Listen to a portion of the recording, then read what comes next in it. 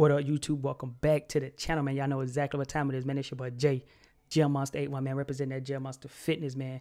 Y'all know exactly what time it is, man.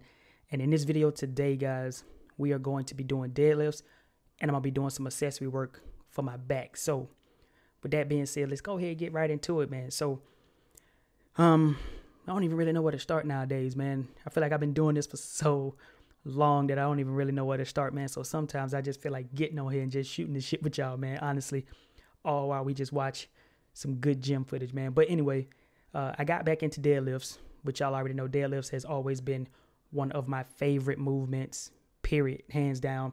I know I go and do my bench press and, and all this other stuff, man. But when it comes to deadlifts, that is my favorite movement of all time in the gym. Another thing you notice in this too, man, is I did say I was going to start trying to cut some weight, but as you can see, man, I'm still bulky as hell. It's so hard for me nowadays, man, being that I've gotten older. It is getting actually harder for me to really cut this weight down, man. Right now in this video, I am about 189 to 190 pounds throughout my day. So in the morning, I wake up, I'm about 188, 189. By the end of the day, I'm about 190, uh, maybe 191 if that's the case. You know, basing that on how I'm eating for that day. You know, yeah, based on how I eat for that day. Yeah.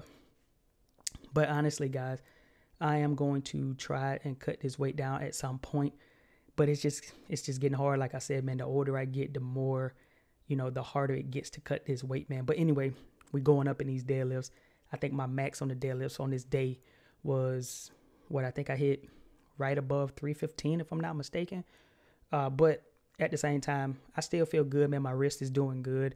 Um, my injuries and things like that really haven't been acting up too much, man, because I've been lifting and working out more safe nowadays than I used to. Um, I'm still trying to figure out a way to get away from that suicide grip on my bench press, but I'm just so used to it. I get a lot of people that go back and watch my 315, I think it was my 315 uh, bench press, the, the one that I did years ago when I was like in the military, when I was in the Marine Corps a lot of people still go back and watch that and they comment and they always, you know, talk to me about my suicide grip. And, you know, my thing is I'm, I'm always saying like, hey, I'm, I'm still trying, man. So even if you put it in perspective, even after all these years, I am still trying to figure out a way to get away from that suicide grip. But for me, it's just so natural. You know what I mean? So I think this is my highest on the deadlifts. I'm not 100% sure but I think it is. Um, I don't even remember exactly what it was. I think that's about 335 if I'm not mistaken. Um, and as you can see, it went up smooth but slow. But you know, it is what it is. So after that, this is where I started to do just some small accessories. So I just stayed there and went ahead and knocked out the bent over rows. You know, one of my other favorite exercises for back.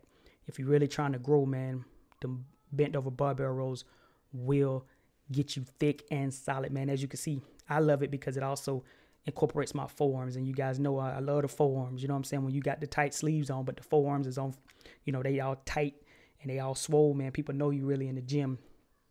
So right here, I knocked out about what 185 for a few reps. I don't even remember if I went up to uh, 205. I may have, but I probably didn't get the clip. Um, so here, just moved over into a row machine, man. Uh, threw three plates on there, you know, and I did uh all my sets like this. So you probably just saw those two sets, and on this, you probably just see this one set, but I knocked out uh, three sets of this at three plates, eight reps.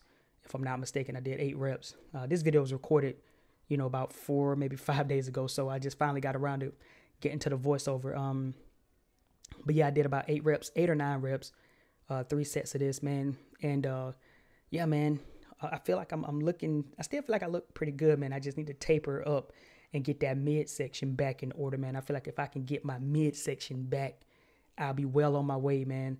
But it's just hard, like I say, you know, getting older, man, is is getting harder, it's getting tough, man. And uh after that, I just did some reverse flies with the dumbbells. I think I only stayed at 20s on these. Uh, typically, I can do what 30s or 40s, but I just did some 20s, man, because it was a not so heavy day. I was just really focusing on the deadlifts, honestly. But anyway, guys, I'm gonna jump out of here, man. Hopefully, you guys are still enjoying these videos, man. And if you are, make sure you hit that like button, man. Don't forget to subscribe. Hit that notification bell so you can be notified when I drop any videos on this channel, man. It's been your boy Jay. I'm to get out of here and head to the gym right now. Peace.